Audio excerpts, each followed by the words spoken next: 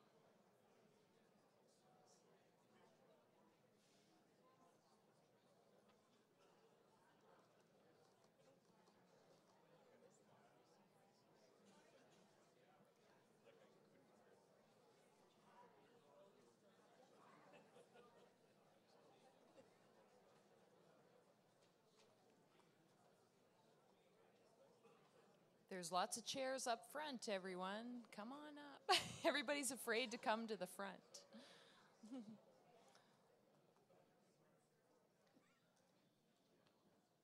okay, well, good morning, everyone. Welcome to day, is it day three? Day two? I lose track at about Tuesday at 10 o'clock in the morning.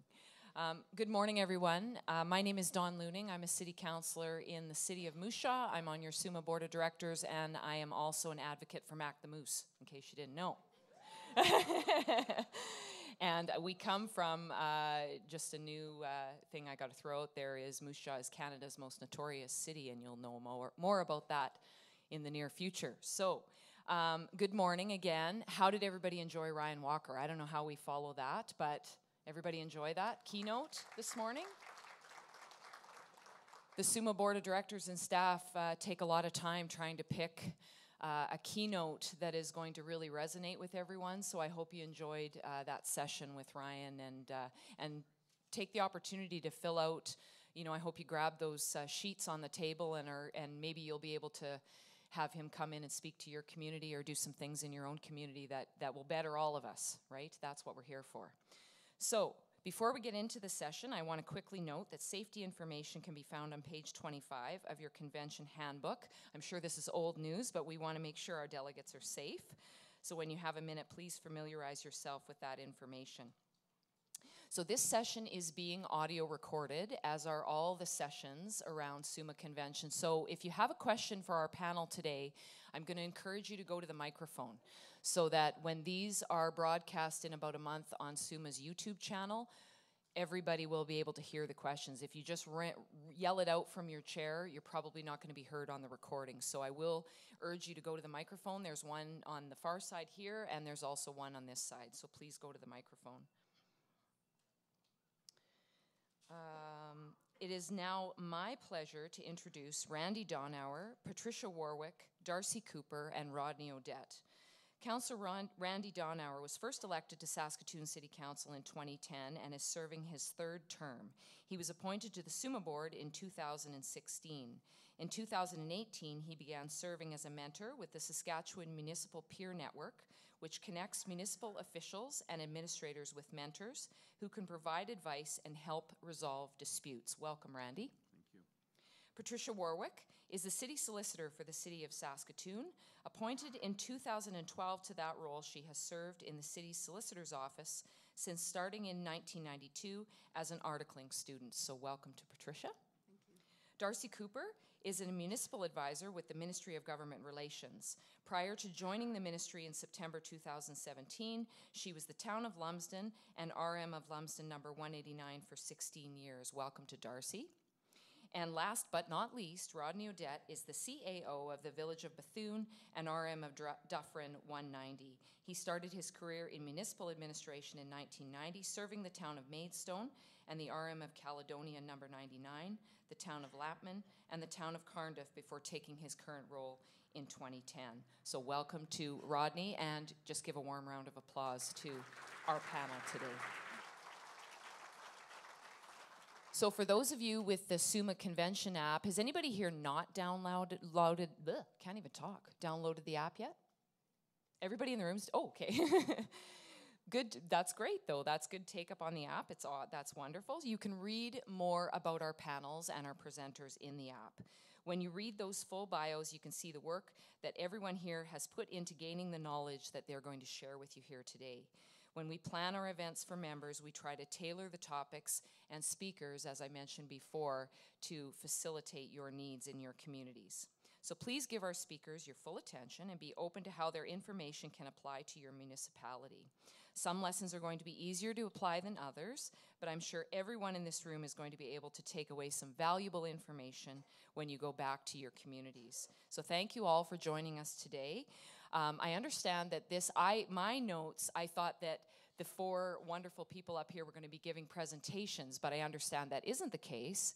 We are open to questions from all of you, and they will fill your minds with the knowledge that they have. So, unless somebody wants to throw out some opening remarks on the panel, don't be scared. No? Okay. So, has anybody got any questions for our panelists today? Don't be shy. We got an hour and a half to kill. and there's still people coming in. There's lots of chairs up here at the front on this side, on my your l- right, my left.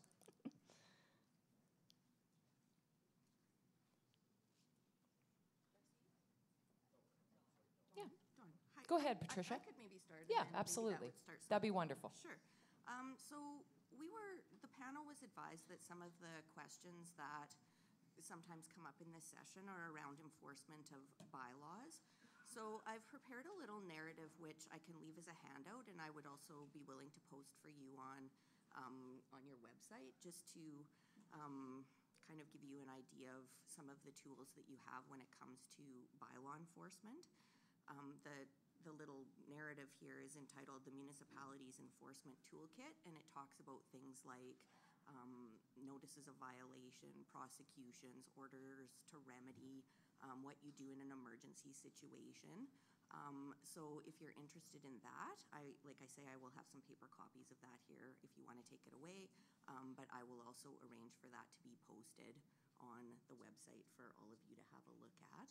Um, the other thing that you might be interested that has been um, recently um, done by the City of Saskatoon is um, we have recently passed a uh, TNC bylaw or a ride sharing bylaw. And the bylaw that was passed in the City of Saskatoon is a standalone bylaw that just applies to ride sharing. It does not apply to taxis. So if, if any municipality is interested in ride sharing, which the province has very recently enabled, you may wish to um, have a look at Saskatoon's bylaw because I think it could be easily adapted to your municipality and would um, would allow for you to have ride sharing in your municipality. So just a couple of things to think about, and if you want to ask questions about that, we're we're here to answer the questions. Thank you, Patricia. Randy, you got some comments? talk for a second. I see we have a speaker, and I'll just encourage people, this is mostly supposed to be a Q&A session, so if you'd like to go up to the mics and get in line, that would be great. Um, But I will say, thank you for the comments, Patty. So the purpose of this session is really to talk about procedures and council and governance and those sorts of things. And so you've got a panel here.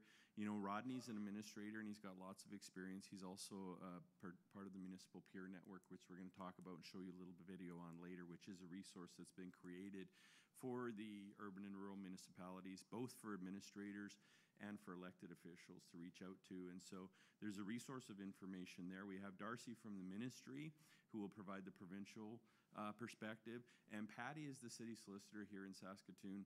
As you can see, she uh, she's actually probably one of the most experienced municipal lawyers in the province. And and even though uh, she works for the city of Saskatoon, uh, she's got lots of legislation with her, and she's been around for a few years. Though she's about 16, and. Um, and she's an incredible uh, source of uh, legal information. And so, any questions along any of those lines, and I'm just here to make the panel look pretty.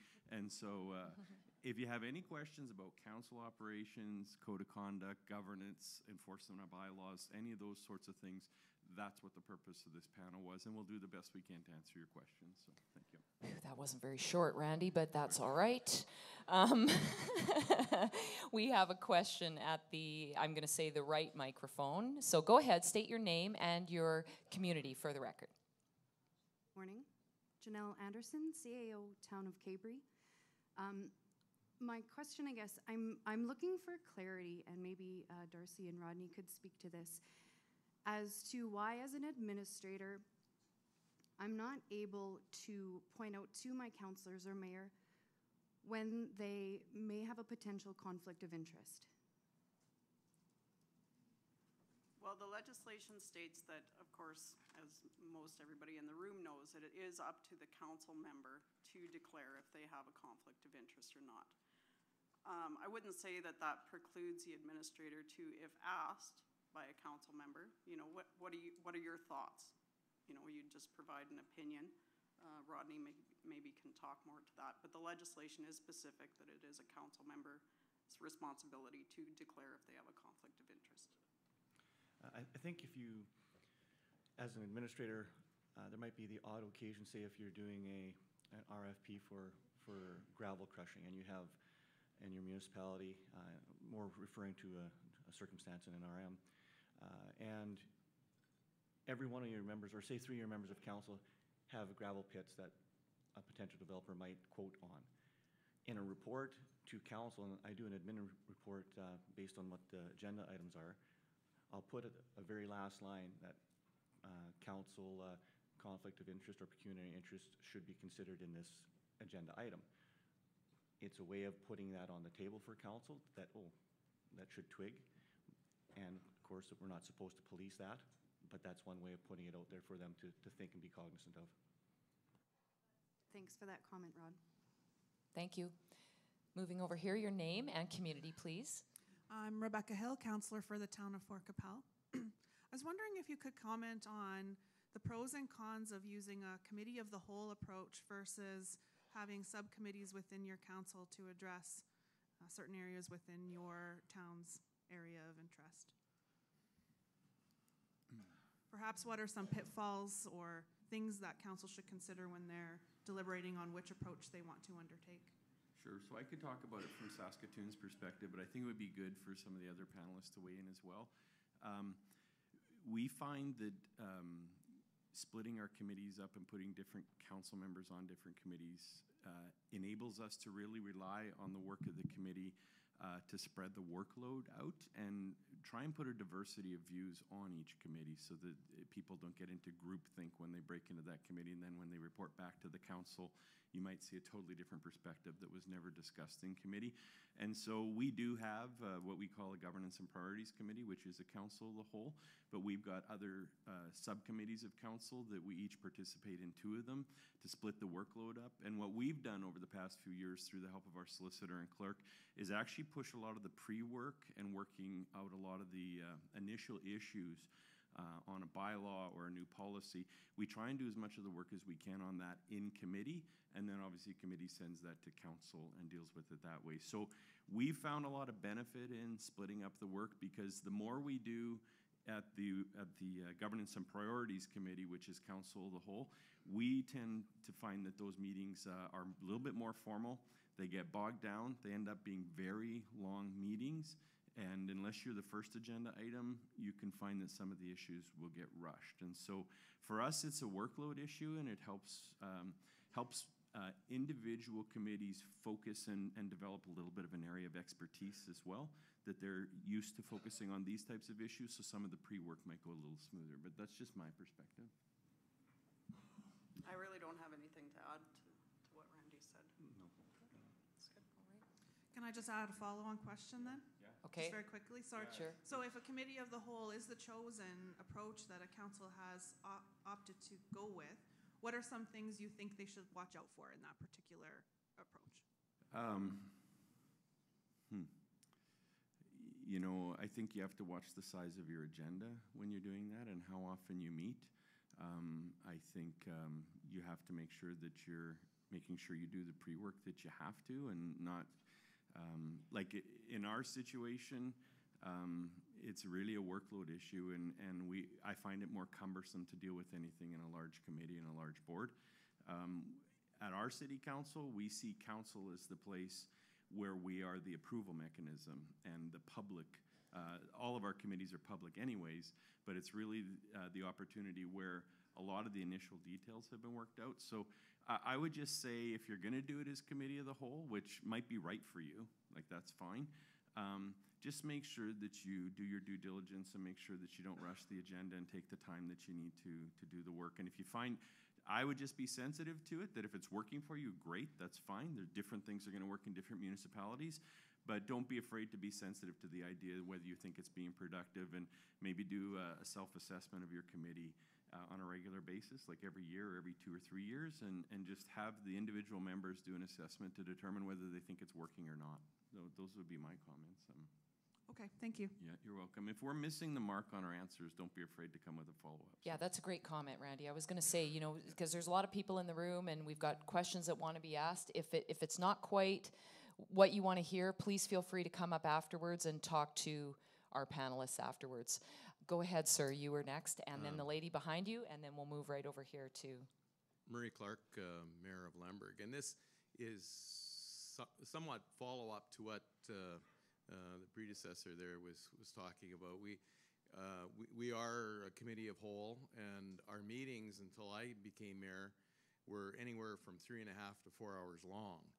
And my question is, you know, what, how long is too long? And, uh, you know, and, and, and I appreciate your comments after the, the second hour, you know, uh, after working all day, I, I'm, I'm done.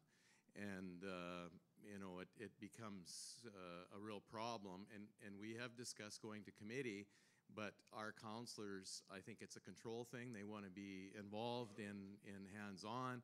And they, they also don't have, um, you know, in my view, the commitment to work outside of council chambers. They, they don't want to put in a- any extra work outside of the meeting. So they would sooner sit there for four hours one night a month rather than having, and my view is after two hours, we should have a second meeting because nobody's on task. Just your thoughts in that regard. Sure. Um, so, you know, your council's an independent council, you're gonna decide to go which way you wanna go. And so if that's the way they've decided to go, then you've gotta find a way to make it work. Um, the control aspect of it, you know, a lot of the situations we have to deal with on council can be solved through information and, and training. And so if you or your administrator can, can get any resources, there's a lot of free resources. And if SUMA doesn't have them, we can help you find them.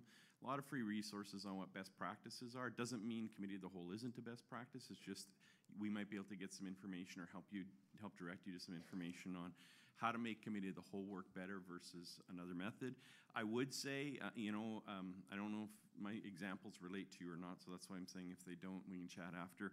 Um, we can tend to have some pretty long meetings, um, and you're right. The longer they go, the less logical they become um, sometimes, and and it Too actually is, it, it actually is concerning to us when an important issue is later on in the agenda. And, and we've actually had some meetings go from one in the afternoon to eleven at night. And, and in Saskatoon, our bylaw says if you don't finish, you come back the next day. So, but here's what we have done that might be able to relate to you.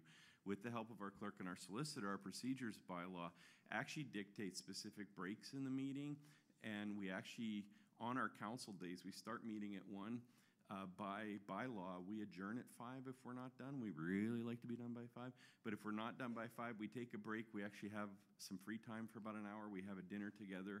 Um, and, and then we resume and have our hearings at six. If hearings goes long, we have set basically every couple hours in our bylaw.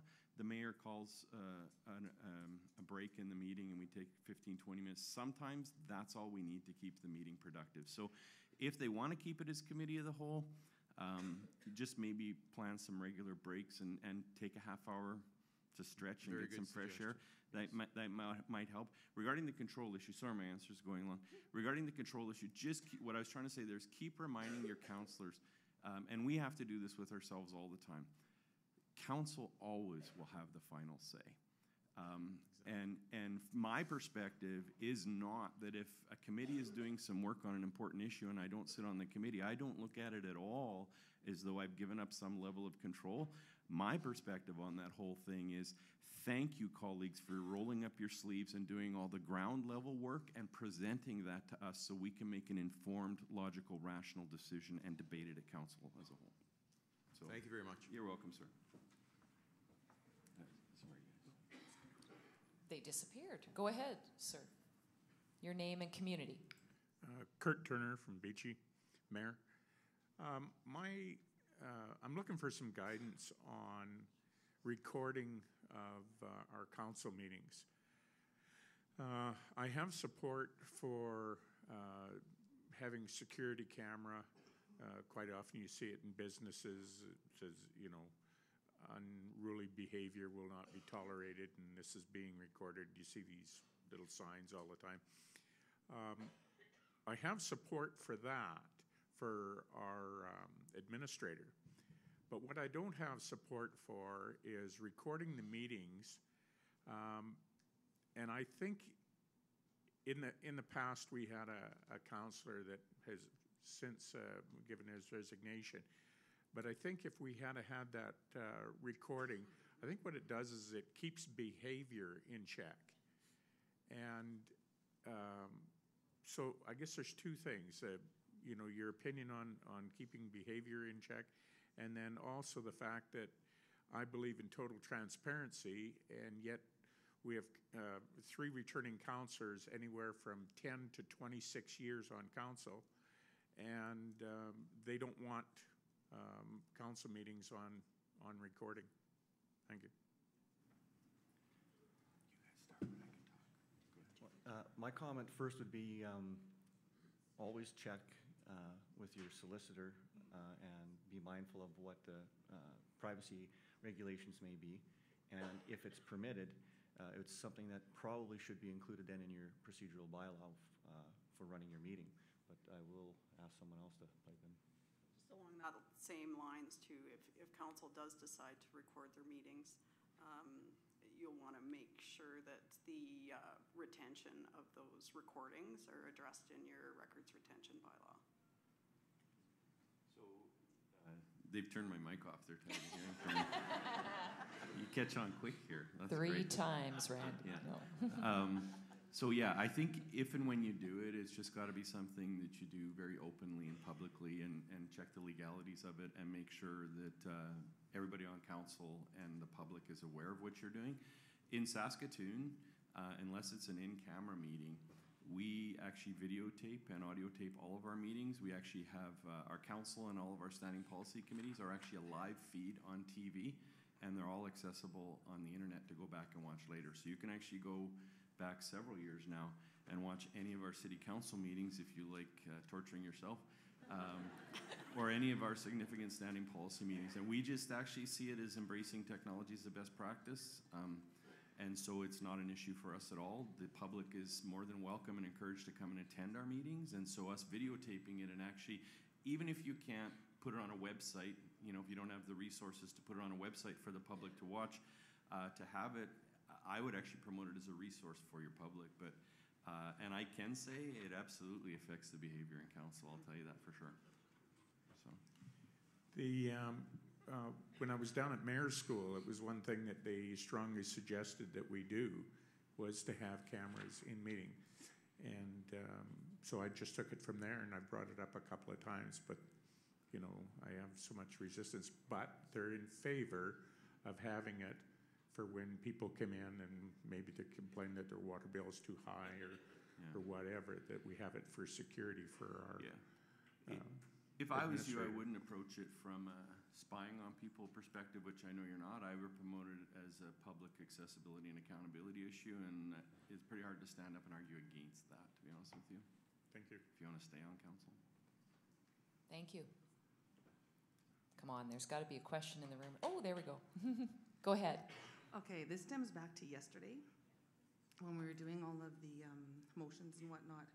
Um, With regards to the more than three-month leave, what came to me, it bothered me all night, not just being a woman in politics, but um, there was a couple comments that bothered me, but that's okay. The more I thought about it, the more, though, the more I thought personal agenda. So if once you get elected, we're in for so many years. So then you go and you want to extend it. Sh- If that extended part were over three months, just because or with certain circumstances, did get passed, would it not be wise to make it for the next election? So no one going into it in a position or in a state of being would therefore take advantage if the constituents weren't aware of it when they were running. Does that make sense? Mm-hmm. So is that for me? Anyone? I can, yeah, I can take that. So where this stems from is uh, the section in legislation regarding disqualification of a council member. Yes. So a council member is deemed to be disqualified if they miss um, three months, um, they're absent from meetings, and it's got to be at least two meetings held within that period. So what it, the legislation allows is for council to pass a resolution to authorize an extended leave. It wouldn't affect the election, it would just be within that term that council member is serving. You know what I was talking about? Sorry, the change, they wanted to extend it for more than three months. Right. And if they, if that was passed during, like, say now, heaven forbid, I was going to go into the maternal way, and uh, all of a sudden, boom, I want to take the next year off. But my, and then I'm fighting for this before I do that. Would that, that not have a conflict of interest or like a personal agenda at mind that now I'm pushing this now that I am this way? And not just that way, I could know that I'm going for major surgery and I'm going to be off for a year. You know, it's, if I can't trust my counselors to approve what I need, and I'm trying to, you know, change the whole course of things, there, there is a little bit of personal agenda in there, is there not? Well, it would, it would apply to, if council was to develop a policy and accept that by resolution, it would probably apply to any member of council within that situation, particular Okay. situation that they're defining. Okay. So, I mean, there is, there is room, I mean, a council member can request that that absence be approved and then just declare your conflict of interest and, and, you know, leave the room and, and let council make that decision. Does that answer your question? Yeah, I don't think I'm posing the question properly, though. Sorry. You know, like, it's, um, it- okay, last night, yesterday when it came out and it was one of the urgent ones or important ones that didn't make the paper in time or whatever, um, if that had been passed then and the person or the people promoting it were fighting for themselves rather than the all, do you know what I mean? Like, they're already in a position where they want to be able to take advantage of this, and they're passing it now. If it was passed last night, would it, or yesterday, would it not have put us into a position that it would say, okay, you know what, this is passed now, but we're gonna make it for the next election, because no one right now should be able to take advantage of it, because it I- wasn't in the pre. Yeah, I think I know what you're know what getting at, is that it, it, I'll give you just a quick example that's happened in, in Moose Jaw, and I think it's happened in all the communities with this third that the federal government has taken away from us with our pay. And I know a lot of the councils have dealt with, okay, you know, our, I know in Moose Jaw, I'll use Moose Jaw, Are we gonna give ourselves a raise? My position has been at the council table, I will, I'll only vote for that if it applies at the next election. I'm not gonna sit in the chair and say, I'm gonna put my hand up and give myself a raise. That's just me. If, because I knew what I was in for when I signed up and won the election two years ago and what happens, you know, in that respect. So I think that's what you're getting at, is that we knew what we yes. signed up for. Should it happen at the next, Yeah, I think it- that's what she's trying to Yeah, ask. if any big so- changes So- come up that, that way, yes. Sure, so I'll address it just briefly since it was out of Saskatoon. Uh, and I don't want to re- re-debate resolutions that came, but I do want to answer your question, so thank you for the question. Um, the resolution yesterday wouldn't have had any impact on, on your municipality whatsoever. All it would have done is it would have given permissive authority to a municipality to enact a policy if they wanted to, but there would be no requirement for you to do that. So if you didn't want to do anything, you didn't have to do anything different today. Your life would be exactly the same today as it was yesterday. In Saskatoon, um, what we wanted to do was get away from actually having a counselor having to advocate for themselves, getting themselves a specific benefit. We wanted the authority to be able to create a policy that would apply to all future councils so that a specific counselor wasn't putting a conflict of interest, having to ask council for a leave because they thought staying at home with a little one or whatever other situation was approved. We were trying to actually take the conflict of interest and the personal experience out of it and create a policy. The argument, though, is very good, that should we, any policy, and I agree with Councillor Luhning, any policy that gives you a benefit as a counselor that you didn't have before would be good to, uh, you know, bring in after the next election so that if the public wants to debate it at election time, they can. So it's a very good question.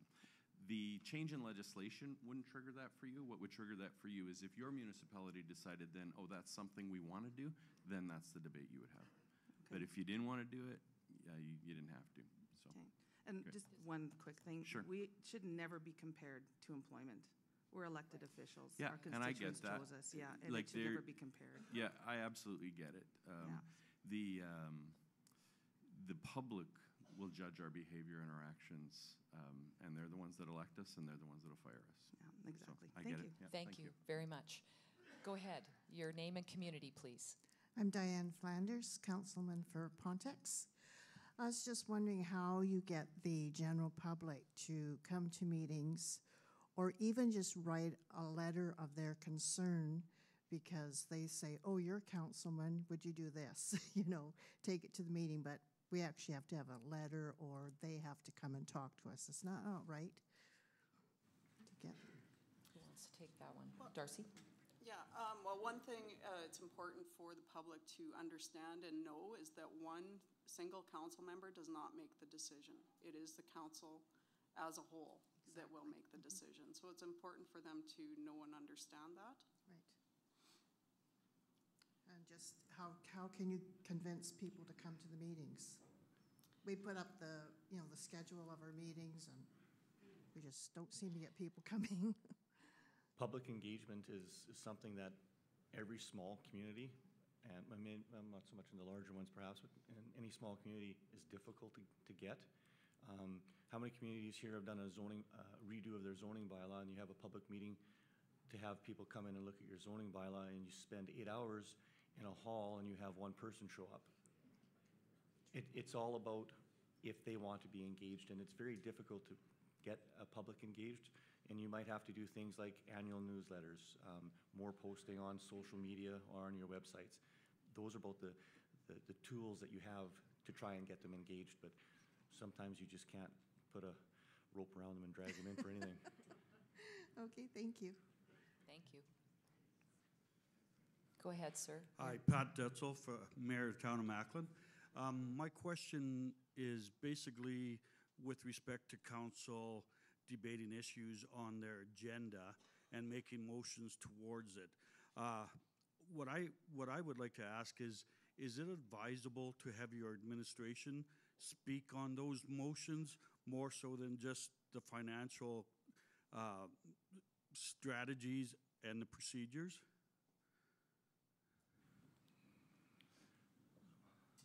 Good question.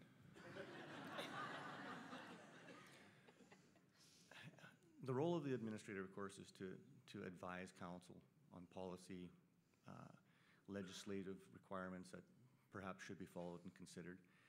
There are a number of times when, and I've been party to where a council say, what kind of opinion would, an opinion would you throw on the table for us to consider on this particular matter?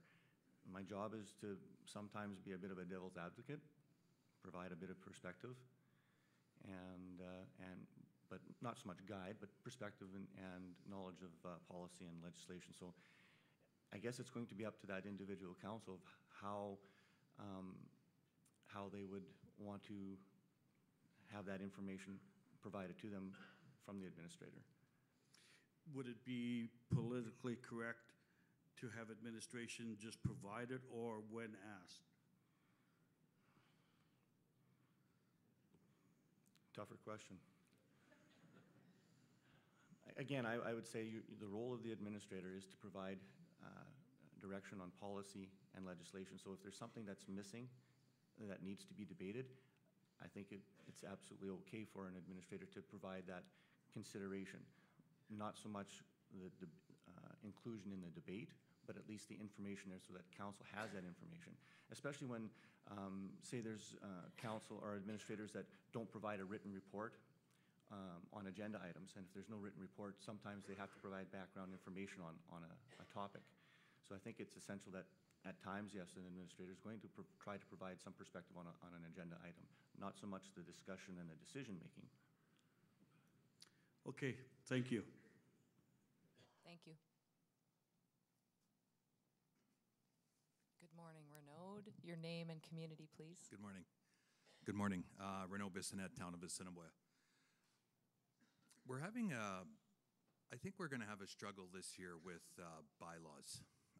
How do you enforce a bylaw in a small community when you don't have the man force to do that? You write letters, you can write a letter, and then what if somebody doesn't comply?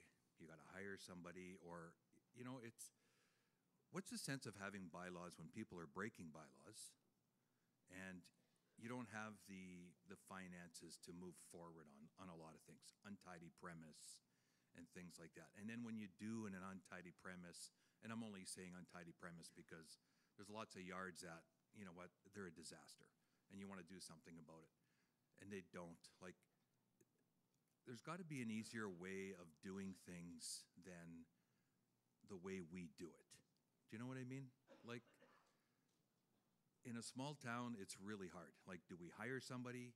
You know what? Pay somebody forty, fifty thousand dollars, like the commissionaires or whatever, to come down, and it's like, well, we're kind of trying to do something, and it's we're finding out it's not worth it, so we let them go, and then now we have more bylaws that are like, you know, or do we wait until somebody makes a complaint and they have to complain in paper? Do we set up a system where somebody can complain without having to put their name down? Because lots of people don't want to put their name down. Or do we have a system where if you're complaining, the person who's getting complained on, do they have a right to say, to see who complained? And say, well, this is a personal vendetta or something. Do, you know what I mean? Like, it, it's a real issue that I struggle with, with bylaws. I think bylaw enforcement is difficult for every municipality. Uh, it doesn't matter really what size. Uh, when, it, when it comes to small communities, the small urbans, um, just by a show of hands here, which communities here have bylaw enforcement officers? Now, which communities utilize those bylaw enforcement officers on a regular basis? So I, it's a matter, I think, of, of the elected biting a bullet and saying, if we want our bylaws enforced, we'll have to go down that road of bylaw enforcement and bylaw enforcement officer. I know in the village of Bethune uh, and the RM of Dufferin, we've, we've had to go that route because, as you say, we have bylaws that weren't being enforced, so why have them? Um, we were fortunate enough that we've partnered with some, uh, an individual from the city of Regina that's a former bylaw enforcement officer, and we have a contract, and we, it's a per event contract. So we don't have a monthly fee, we don't have any, uh, you know, uh, budgetary costs except when we use him. So maybe Okay. that's something that might have to be entertained. Okay, so right now we don't have one. Somebody breaks a bylaw. So it's, it's really hard to pick and choose which bylaws you're gonna enforce. You know, is it somebody, oh, you drive by and it's like, oh, that guy's fence is too close to the sidewalk or something like that? Like, do you wait until somebody makes that complaint as council, or do you pick on that person and say, oh, by the way, you gotta move your fence back, or do something like that? It's, I think that depends on, on the engagement of council, how, how far or how, um, how much they want to do for, as far as enforcement. Um, in some jurisdictions, uh, there's policy in place where council doesn't enact anything until there's a written complaint. Not a phone call to the office, not a phone call to a council member complaining that, uh, either a fence is in the wrong spot or, or so-and-so is piling his snow on his, on his neighbor or whatever. It's always written complaint driven in, in most, in most places. Okay, so that person that comes in doesn't want to write a letter saying that, but they come into the office and make a complaint. So then they walk out and say, well, I don't want to write a letter. So you tell them, well, we can't do anything about it. So they walk out, they're upset. And it's like, you know, sometimes common sense prevails where, you know, that person has a legit complaint. They just don't want to put their name on it because they don't want that person to find out. Then they're going to be mad. Like, you know how it is with a neighbor. You know, you don't want to piss off your neighbor, but at the same time, you want something done. I don't, I don't want to cut you off, Renaud, but I think, I think it might be good if you have a conversation maybe with After? the panelists Okay. afterwards, just because I, th- I think That's we're fine. kind of, yeah, at a stand, if that's all right. Thank you, though, for your question. Go ahead, sir, and then we've got you next. So your name and community for the Uh, record. Greg Nagel from Mossbank. I just want to address a moment for the question, uh, the question or the comments that the fellow just before Renaud came about information and what we're doing and what I learned at, uh, uh, in conversation with someone uh, from Alberta who did a study for their uh, information and guiding their councils through, he came up with, or they came up with an acronym called BIRD, B-I-R-D. And perhaps you've heard it, and perhaps you're using it already unintentionally. But what we've asked our administration to do is uh, background information, request for decision. And so what we've, we've asked our, our administration to, when we've got a, a situation that we aren't really doing our own due diligence, whether that be through committee or whether committee of the whole, our administration provides some guidance, what, where that information come from, that's the background information. And then he will say, okay, you guys, you got to make a decision here. We don't want this to be running around the table constantly. And, and for us, it's helped us. We're still in the learning stages of applying that. But we find it very beneficial, and it's also moved our meetings uh, ahead in if addressing that timeline. So instead of the four and a half hour meeting, we're, we're shooting for two and a half hours and, and going home. So it's just helped us be better at what we're doing. Perhaps, I don't know, that's just a suggestion more, more than anything. Thanks. Thank you.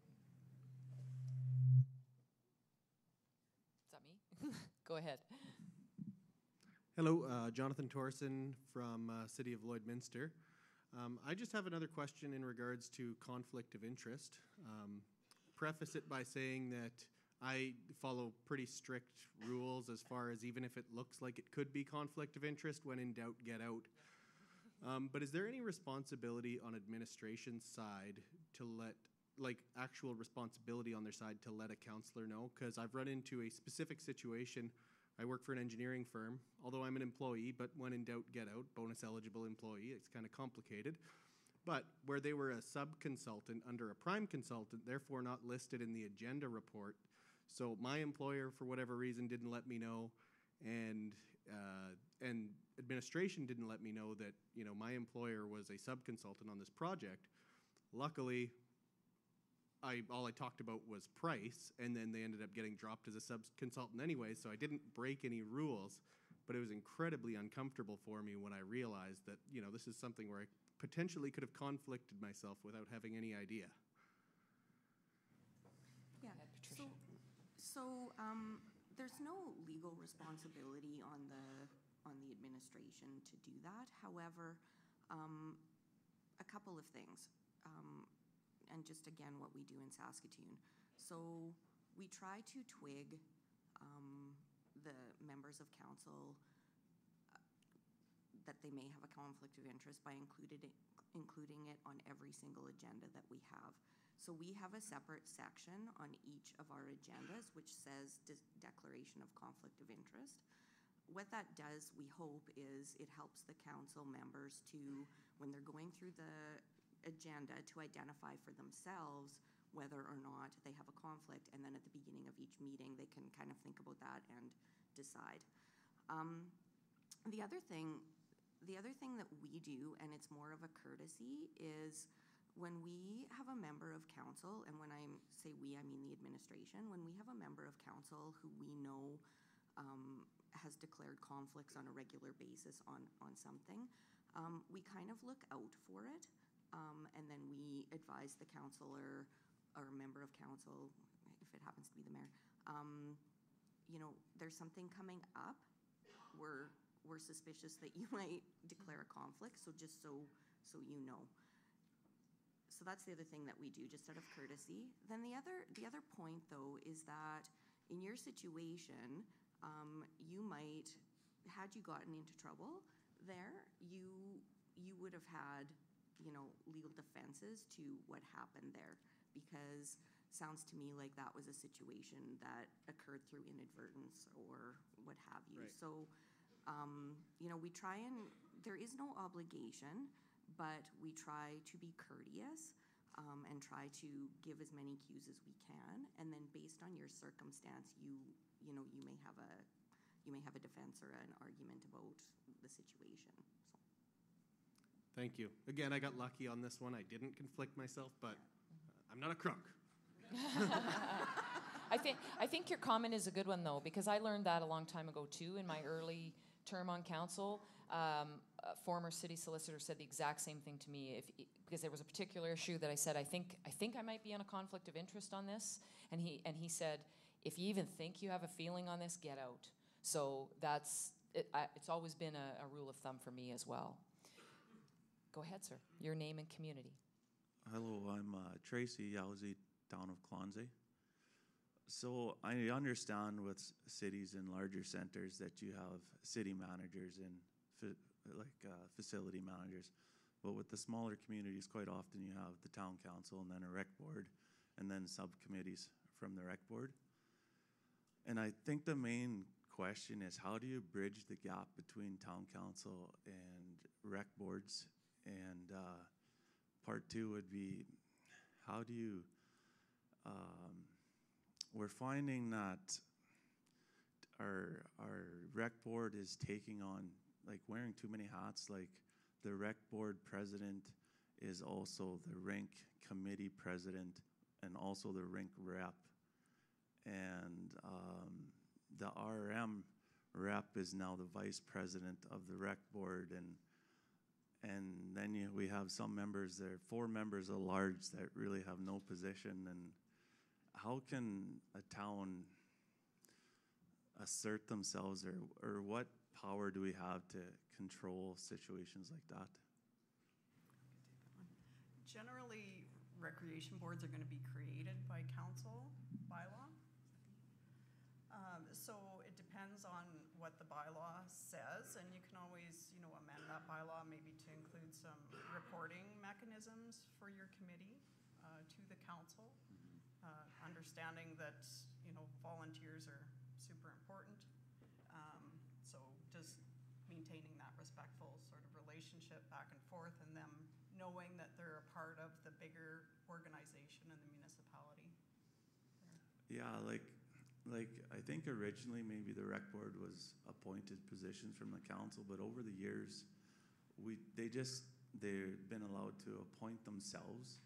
So then we'll come to a meeting and we'll hear, oh, so and so is the new rec board president, and we're like, oh, okay, you know, and not that it's a bad thing, but we we just seem to we have a, a town representative, but we can't always make all the meetings, and so if we if we don't, then we hear a month later what maybe has happened.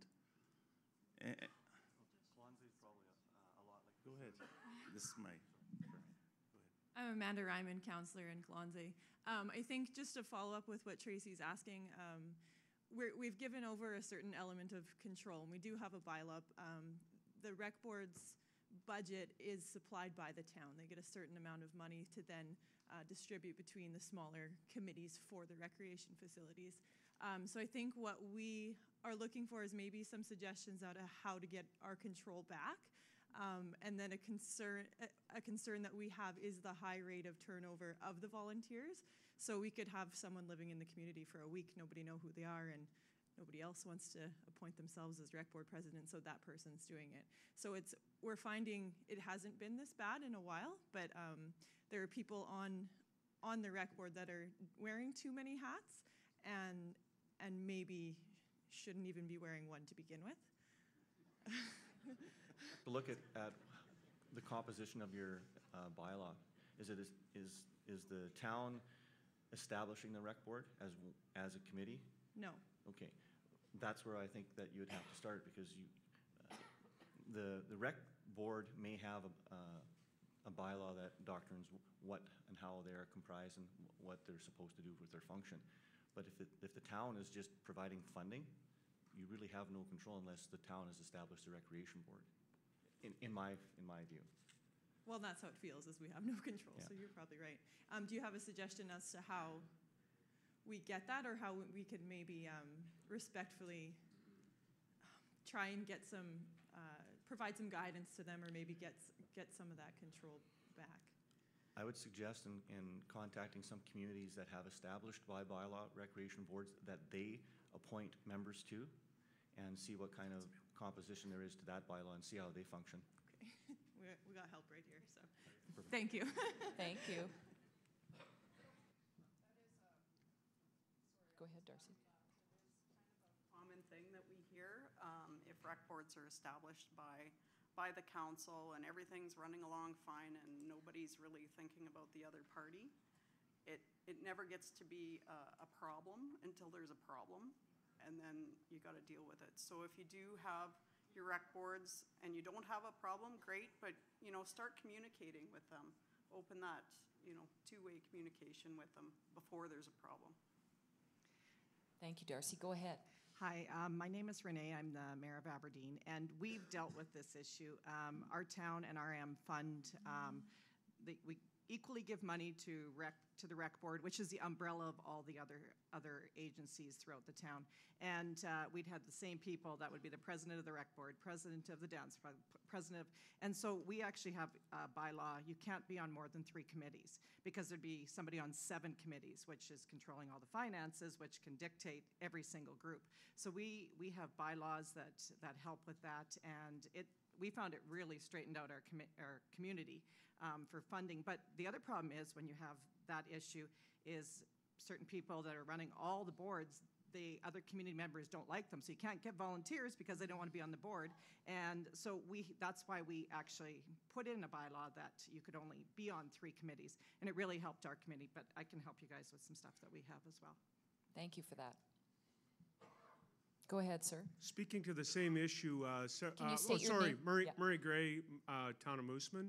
Speaking to uh, that exact thing, we, we abolished our, our rec committee a long time ago. As, re- as a town grows and you have more recreation facilities, I, I, I think it's a danger in order to have non-elected officials in charge of a budget. So by taking back and making those decisions within a subcommittee in the, we have a recreation committee within council that, that once we got control of that, then we had answers for where, where the money's going by people who are elected. Because essentially in your town, the people that are running your rec committee don't answer to anybody. They're not elected or they're making themselves appointed. So just a point to it that that, that is a way to take control of it is bring it back within council, uh, especially when it's the, your taxpayers' money that they're spending. So Thank you. My name's Ed Lehman. I'm from, I'm a counselor from Cupar. And uh, I think uh, our town is experiencing probably one of the same issues that other communities are experiencing, and that is our health needs have increased, but our service has actually declined. So I'm one, and we seem to be spinning our wheels over and over again by just asking the responsible authorities for the actions that would lead to uh, the proper care level being established. So I'm wondering what kind of things would you suggest as strategy and tactics to have an effective campaign to have primary health care at the level that we need in the communities? Thank you.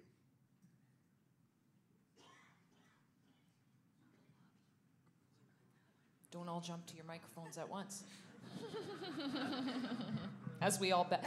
This has been my my my meme for the whole week as I Bart Simpson going Does, does any, does anybody from the floor have a comment on that, what they do in their comment. community? I tell, I'll tell Go you how ahead, to sir. fix. You're- I'll tell you how to fix that. Can you state your Dennis name? Helmuth, uh, Mayor, Town of Rosthern. Thank you. I'll flag. I'll fly the flag of regional cooperation again. Uh, it seems to me, and I don't know the geographical circumstances that might be referenced here, but in our context, we don't. We're having tremendous success with physician retention, uh, potential new hospital replacement, and it's because of regional cooperation. Likewise, to the topic of uh, bylaw enforcement. For us, it's, it, we seem to have things under control somewhat, and again, it's because of regional cooperation. So when your community is working with others, you have capacity. And uh, I know it takes administration to work towards mutual agreements. And, uh, but nonetheless, I would really, really strongly encourage smaller communities when you have difficulties getting services uh, provided to your citizens, look to your neighbors for some assistance. Thank you. Go ahead, Randy. I can make a comment. I'm not going to do an education session on how to lobby the provincial government, though I would say that that's what SUMA's role is. And so I just encourage you, it might not be the specific of the answer that you want to hear, but tomorrow we're going to have breakout sessions in the Minister of Health, the Minister of Rural and Remote Health. We're going to come tomorrow. I'm going to be uh, moderating that session, and I would just encourage you to come and speak openly to them about your concerns. You probably have in the past, uh, but make sure you do it again. And, and SUMA provides some advocacy, um, an advocacy role, and keep working through SUMA and talk to the minister tomorrow and, and see what kind of an answer that you get. Thank you, Randy. Go ahead. Uh, Jonathan Torson, Councillor, City of Lloydminster. Um, I just have a question on best practice um, as far as kind of makeup of committees that are doing negotiations. Um, and these are kind of the in-camera ones where, you know, the public would not be welcome to them. It's negotiation with another party, uh, those types of things. Um, but the facilitators that we were working with on this particular item suggested that we have four of seven counselors appointed to it. Um, and I'm just wondering, you know, that was one of the big pushbacks from other members of council. I was wondering, I was wondering how you would look at that. And it also has no alternates or observers included in uh, in this um, terms of reference for the negotiation committee. Okay, great. Um, when you say, uh, am I being a little too honest? Um, just sorry, Jonathan, when you say negotiation, can, I just want to get, make sure I got the right frame of reference. Are you Well, talking this is employee? pub- This is public knowledge, I suppose, Yeah. because the debate happened in a public meeting once already. Right. Um, it's an annexation negotiation Oh, committee. okay, between two municipalities? Yeah. Yeah. Um, I'm trying to think of how we do that here in Saskatoon. Like, a lot of the groundwork done in those cases is done through our administrations, and, Yeah. and we actually don't have a committee of council that specifically participates in the negotiation. That may be a capacity issue for other municipalities, and, and I understand that, and I get that. Um, we find working through those things works better when you try and keep things at a best practices, uh, you know, across Saskatchewan and across the country, and getting professional input and getting your professionals together. They're probably more likely to Well, agree. Um, and and I just want to add to that that yeah, there yeah. is two s- kind of separate committees built into that. One that's purely administration, and one that's more on the political side in terms of what do we want, what do you want, that type of thing. Right.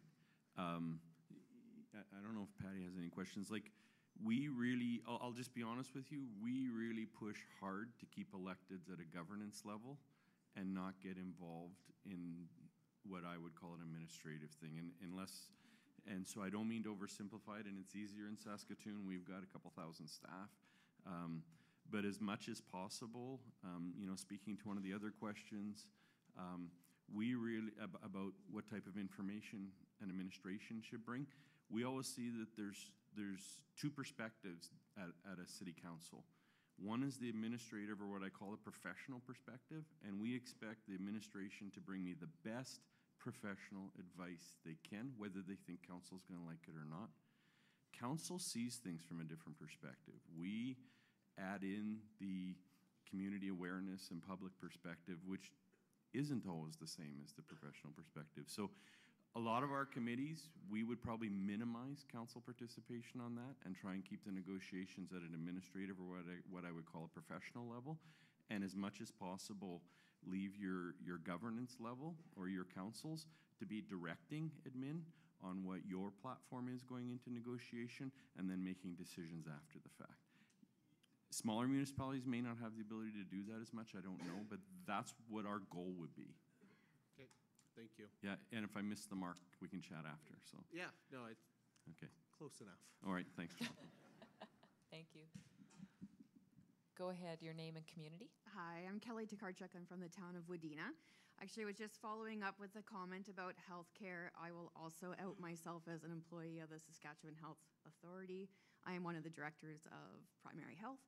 Um, uh, so I think one of the things you can do as well is invite those directors and executive directors to your council meetings to make sure that they know what is going on in your community, what are your concerns, what are you seeing.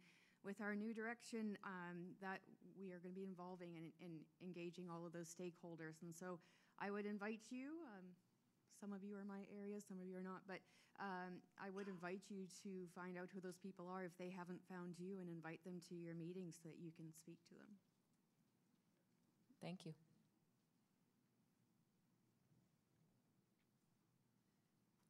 Go ahead, your name and community, sir. Hi there. I'm uh, Kerry Trask. I'm a counselor at Canora. Kind of new to the business. I just came in in the last election.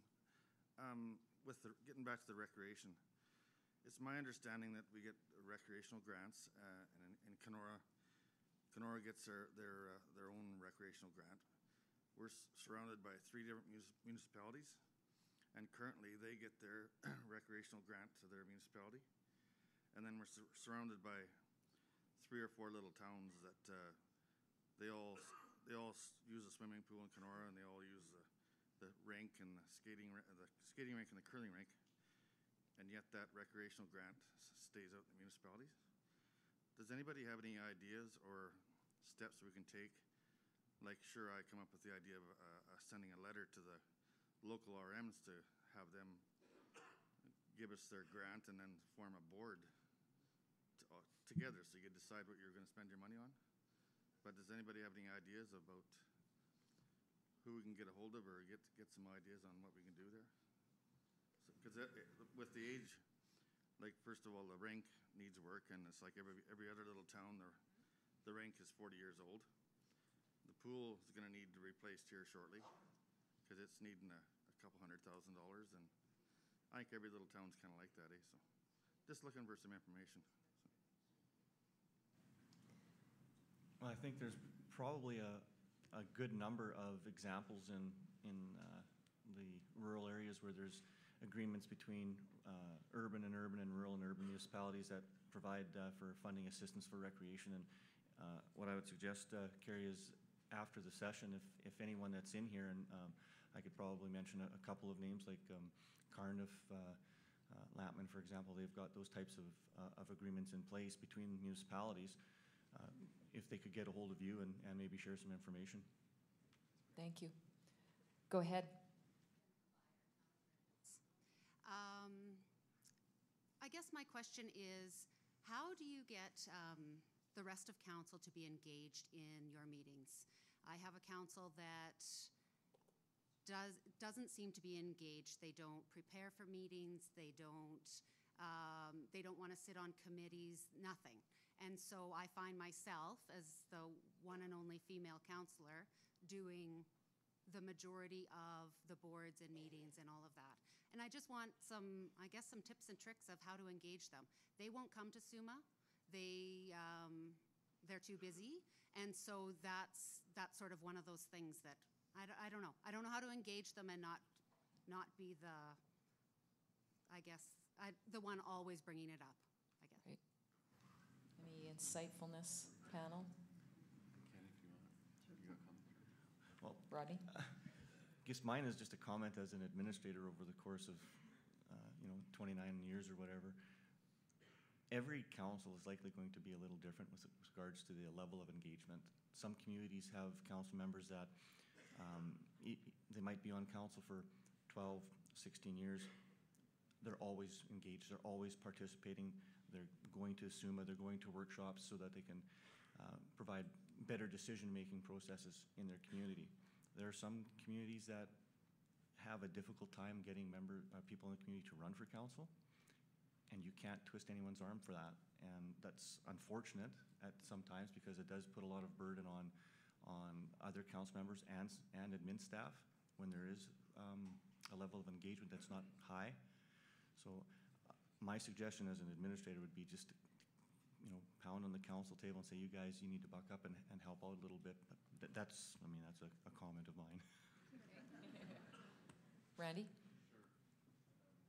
So first of all, thank you for your service to your community because I think several people in the room can probably relate to that, and so thank you. Um, this is the dilemma of being an elected official, right? You did not elect your colleagues; um, the public did, and and. Uh, it's not a pre-assembled team, um, and I'm sure there's probably days where my council wishes that I wasn't there. Um, but um, we work with the council that we're given, and so we have to be cooperative. I think open and honest dialogue.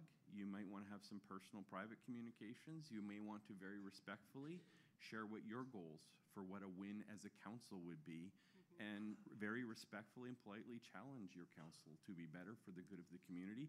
I think several of the questions that we're hearing today um, deal with capacity issues. Um, so to whatever extent you're possible, uh, that is possible for you, uh, either you or your administration try and reach out and see if you can find resources. Um, and this is really for a lot of towns and villages and, and cities. If you as a councilor or your administration has the ability to get resources to share with your council, um, things like best practices, things like code of conduct, things like conflict of interest, um, just sometimes we get caught up in doing the business of council and you actually need to put some focus into yourself as an entity and a group and how do we work better as a council and if you put all your effort into running the city and don't put any effort into how you as a council function from a governance level um, you, you could find yourself lacking. And so i would just say now it's easy for me right i look to the lady on my right and i say uh, bring us a training session on governance, and, and they do that for us after an election. But uh, you may not have the resources to do that, but I think we would share some of our resources with you, and I think Suma would share some of their resources with you. And I know there's excellent websites, like Deloitte has a website on governance that it's all free.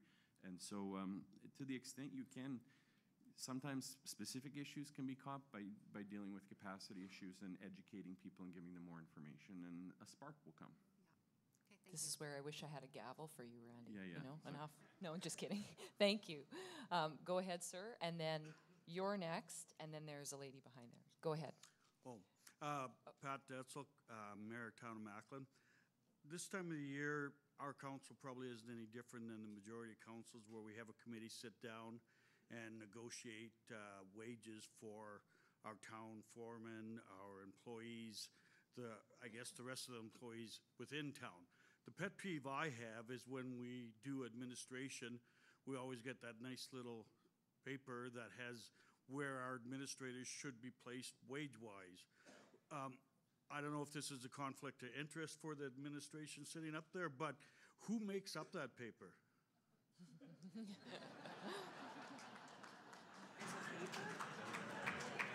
well, then, who's going to take that one?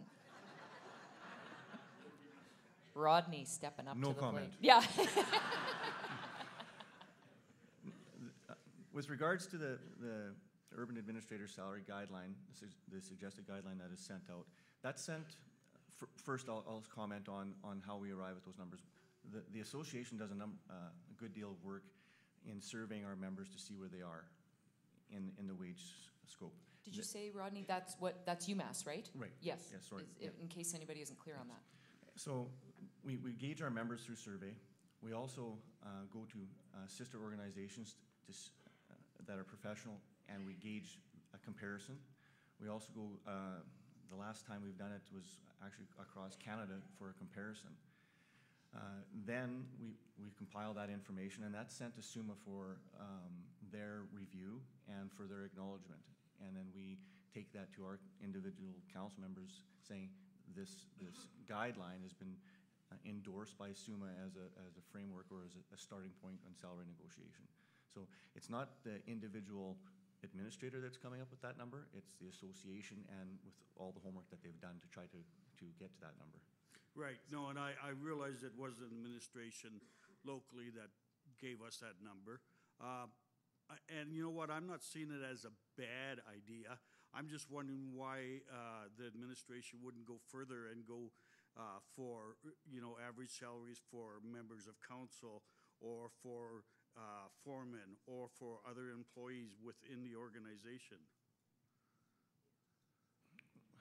Well, the, the guideline that we have is, is done by our, our organization. So for Public Works, for example, myself as an administrator and probably every administrator in here, we do email surveys and phone surveys of neighboring municipalities for Public Works salary for guidelines to, to come up with a, salary grid, so to speak. Um, those that, that don't, they just rely on their council and, and their local uh, em- em- economic or employment atmosphere to set those wages. Uh, Right now, I don't think in the province, other than with, uh, for public works in in municipalities, that your public works foreman is a member of uh, CPWA. They don't send out or they don't do any historical data on public works salary guidelines. Uh, There is information out there, and I can't remember the one that, uh, uh, when I was in Carnes, that we used to get, but they would send out an annual update of uh, council indemnities, uh, public works salaries, uh, admin salaries, right across Canada. So that information is, is out there. You have to pay for, for that one, but it is out there. Okay, thank you. And just in case, Rod, if you are talking to administration and that being ours, let him know that I do believe he is the best one in Saskatchewan. Thank you, I would sir. agree. Go ahead. We're running uh, close to the end of the session, so I see two more questions, and then I know Randy mentioned that there's a video that we'd like to share as well, and if there's any other wrap-up questions, you might want to get up to the microphone right away. Go ahead. Hi, I'm Cheryl Wider from the Village of Marsden. I just wanted to give some insight on the rec um, situation. We engaged our RM. Um, we have another small town about 12 miles away that has some bigger facilities than we do, but to be able to keep it, the facilities in our small community, um, we have some funding from RRM, and I would just suggest that they go to the local RMs and have some free discussions and encourage them to support because their children are probably using, or their grandchildren are probably using these facilities. Um, and you can pull your resources together to keep your community alive. I do know our curling rink got shut down, and when it did, we lost a lot of people out of our community. So I encourage you to take the time, invite the RRMs, have a special meeting, and try to get some funding into your community. Don't lose these like we did. Thanks. Thank you. Go ahead. Thank you. Joanne Brochu with the Village of Elbow. I just have a comment in regards to council engagement. Uh, every year, we have taken the practice up at Elbow to do a review of our employees.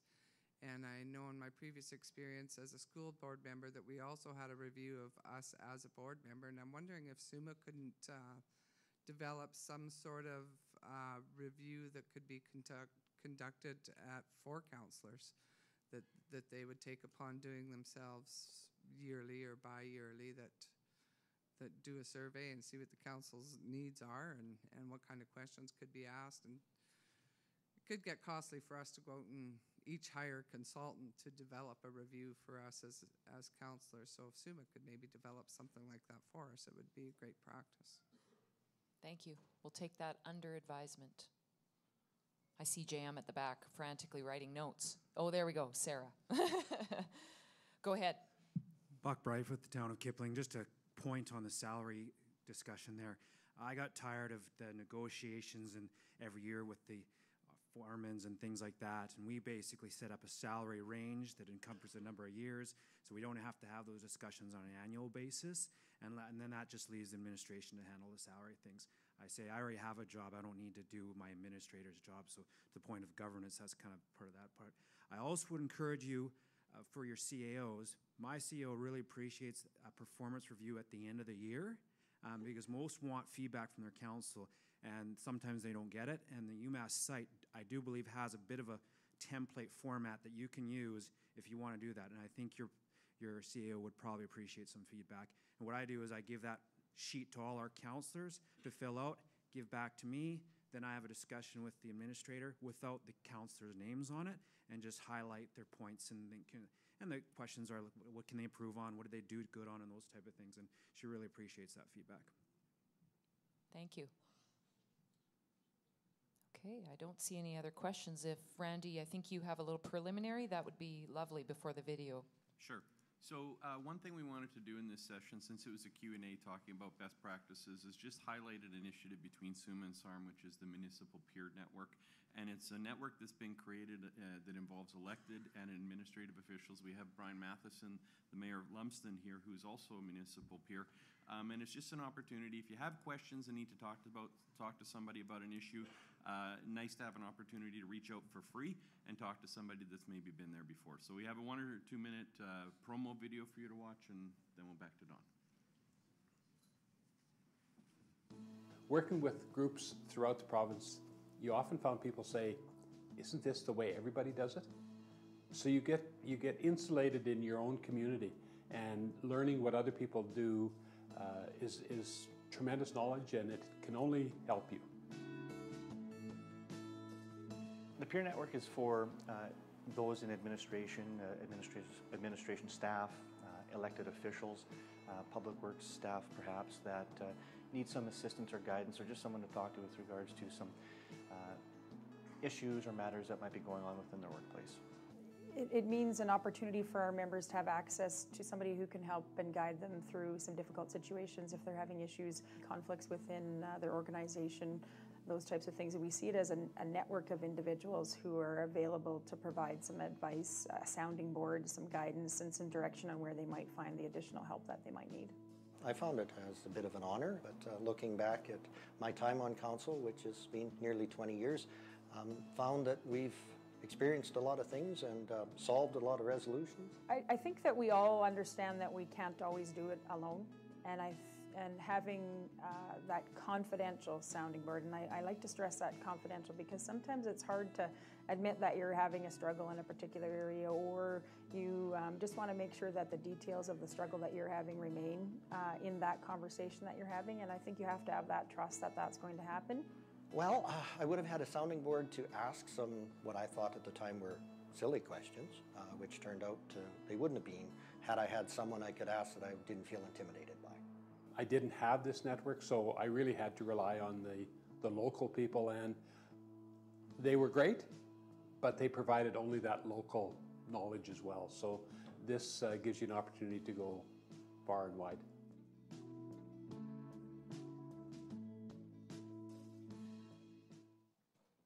Great, thank you.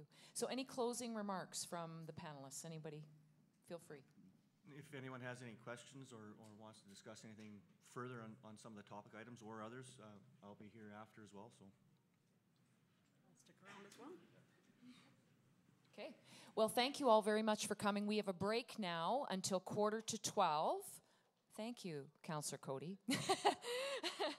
and then the leader of the official opposition is addressing the delegation at 11:45. I have some thank you cards for the four of you. Let's give everybody a round of applause, please, for our panelists.